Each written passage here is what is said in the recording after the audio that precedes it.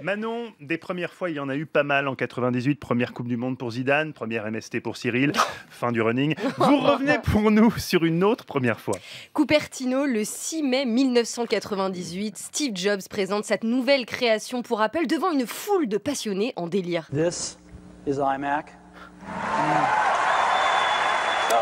Le tout premier iMac est né, tous les professionnels présents sont excités de voir à quoi il ressemble et pour cause, son design épuré fait toute sa différence. Il est fait en plastique translucide avec une grosse bulle bleue derrière devenue iconique.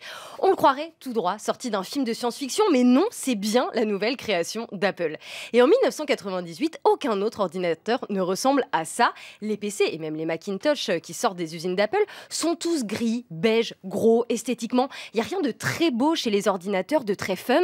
En plus, ils sont tous accompagnés d'un gros modem à côté. Et si on veut écouter de la musique, il faut acheter des enceintes. Bref, c'est toute une installation. Sauf que l'iMac combine justement tout ça. Le modem est à l'intérieur, les enceintes aussi. Et pour se connecter à Internet, ça n'a jamais été aussi facile, comme le dit la pub des iMac de 98. Étape numéro 1, se brancher. Étape numéro 2, se connecter. Étape numéro 3, il n'y a pas d'étape numéro 3. Une révolution pour l'époque. Pour la première fois, tout est pensé pour être dans un seul et même objet, et qui plus est, un bel objet, un objet qu'on est fier de mettre chez nous comme la pièce d'un designer célèbre. C'est d'ailleurs comme ça qu'il est vendu dans les publicités d'Apple avec le slogan Chic Not Geek. Il est commercialisé trois mois après sa présentation à Cupertino le 15 août 1998, et malgré le prix très élevé de 1200 dollars quand même, c'est un succès fulgurant pour Apple. 278 000 unités sont vendues dans les six premières semaines et 800 000 à la fin de l'année. Un an plus tard, on dit qu'il se vend un iMac toutes les 15 secondes. C'est un vrai phénomène. Apple lançait aux États-Unis son tout nouvel iMac. Des ordinateurs en veux-tu, en voilà. 150 000 vendus en 8 jours et paraît-il des ruptures de stock monstres. Coup de pub, coup de bluff ou réalité, qui sait. Mais voilà en tout cas de quoi redonner espoir aux constructeurs longtemps menacés. Un constructeur longtemps menacé, et oui, car l'arrivée de l'iMac marque aussi le renouveau d'Apple qui était à deux doigts de la, de la faillite.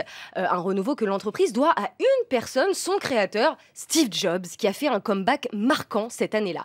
Car vous l'avez sûrement oublié, mais Jobs n'était plus chez Apple depuis un certain temps. Il s'est fait licencier de sa propre entreprise en 1985 car il ne s'entendait pas avec le directeur général.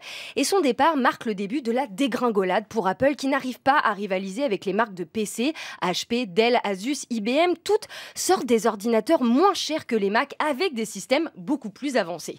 Et Steve Jobs et pas de son côté, il en a profité, il a profité de ces années loin d'Apple pour justement travailler sur un tout nouveau système d'exploitation, système qui va être racheté par Apple en 97 et qui va lui permettre de redevenir le patron de l'entreprise, système qui va devenir le fameux macOS 10 qui a aussi fait le succès de l'entreprise. Steve Jobs sauve donc Apple de ses débuts avec son ordinateur à la bulle bleue, il passe ensuite 14 ans à sa tête, 14 ans où il va créer des objets emblématiques, l'iPod en 2001, l'iPhone iPhone en 2007, le MacBook en 2008, l'iPad en 2010.